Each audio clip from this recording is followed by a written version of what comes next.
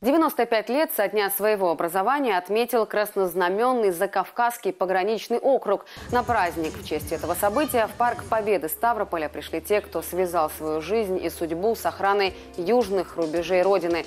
История округа соткана из имен сотен прославленных бойцов и командиров с 1922 года, когда он только возник, и до наших дней Кавказ оставался для России территорией особой важности. И обеспечивать здесь безопасность непростая и ответственная задача. Собравшиеся ветераны вспомнили самые значимые эпизоды своей службы, в том числе бои в Чеченской Республике, помощь пострадавшим от наводнения в Кочубеевском районе в 2002 году и знаменитую операцию в Аргунском ущелье.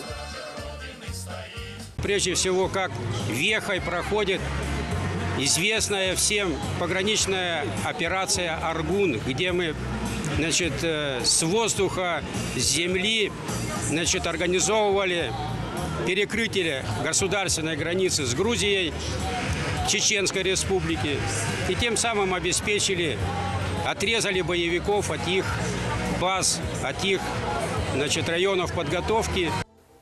Участники торжества возложили цветы к мемориалу на аллее пограничников, а затем на главной сцене парка для них устроили праздничный концерт. Со сцены звучали военные и патриотические песни, а также слова поздравлений. Заслуженные ветераны и действующие пограничники получили памятные награды.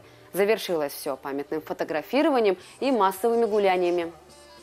От всей членов семей, пограничников, наших ветеранов поздравляем с праздником. Спасибо огромное за ту долгую и славную службу, которую они вынесли на своих плечах вместе с детьми, вместе с женами, вместе со своими родителями. Ну а всем тем, кто погиб, вечная слава. Вечная слава, мы их помним, скорбим и надеемся. У нас уже в задумках, что на этом месте будет памятник пограничникам Закавказского пограничного округа.